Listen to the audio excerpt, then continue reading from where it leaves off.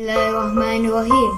Allahumma inni a'udzubika minal bawasi wal jununi wal juzami wa min syai'ini asqa. Ya Allah, aku berlindung denganmu daripada penyakit sumpah, gila, kusta dan daripada segala penyakit yang berbahaya. Amin ya Rabbal Alamin.